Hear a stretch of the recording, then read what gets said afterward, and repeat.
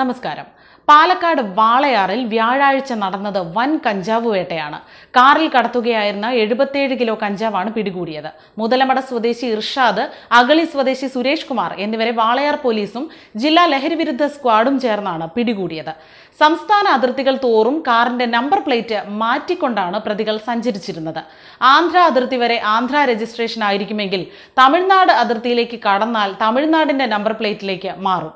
വാളയാർ അതിർത്തിക്ക് അപ്പുറത്ത് നിന്ന് കേരള രജിസ്ട്രേഷനിലേക്കും കാറിന്റെ നമ്പർ പ്ലേറ്റ് മാറ്റി. എന്നാൽ അതിവിദഗ്ധമായി വാളയാർ അതിർത്തി കടക്കാനുള്ള ശ്രമത്തിനിടെ കേരള പോലീസ് ഇവരെ പൊക്കുകയായിരുന്നു. പരിശോധിക്കാനായി കാർ തുറന്നു നോക്കിയ അന്വേഷണ ഉദ്യോഗസ്ഥർ പോലും ശരിക്കും ഞെട്ടി. കാറിന്റെ സീറ്റുകൾക്കിടയിൽ എട്ട് രഹസ്യ അറകളായിരുന്നു നിർമ്മിച്ചിരുന്നത്.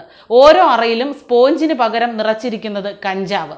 പുതുവത്സരാഘോഷത്തിന്റെ ഭാഗമായി നടത്തിയ പരിശോധനയിലാണ് രഹസ്യ അറകളിൽ ഒളിപ്പിച്ചു കടത്താൻ ശ്രമിച്ച എഴുപത്തഞ്ച് കിലോ കഞ്ചാവ് പിടിച്ചെടുത്തത്. പാലക്കാട് തൃശൂർ മലപ്പുറം കോഴിക്കോട് ജില്ലകളിലെ ചില്ലറ വിൽപ്പനക്കാർക്ക് പതിവായി കഞ്ചാവ് കൈമാറിയിരുന്ന സംഘമാണ് പോലീസിന്റെ പിടിയിലായത്. മറ്റൊരു സംഭവത്തിൽ തൃശൂരിൽ എം ഡി എം എയും ഹാഷ് ഷോയിലുമായി ഒരു യുവാവ് പിടിയിലായി. കുന്നംകുളം സ്വദേശി അജിത്തിനെയാണ് ലഹരിവിരുദ്ധ സ്ക്വാഡും മണ്ണൂത്തി പോലീസും ചേർന്ന് പിടികൂടിയത്. നാൽപ്പത് gram M D M A ആണ് ഇയാളുടെ കൈവശം ഉണ്ടായിരുന്നത് പതിനഞ്ച് ബോട്ടിലുകളിലായി ഹാഷ് ഷോയിലും ഉണ്ടായിരുന്നു. പുതുവർഷ ആഘോഷങ്ങൾക്കായി ബാംഗ്ലൂരുവിൽ നിന്നാണ് ഇവ വാങ്ങിയതെന്ന് അജിത്ത് ചോദ്യം ചെയ്യലിൽ സമ്മതിച്ചു.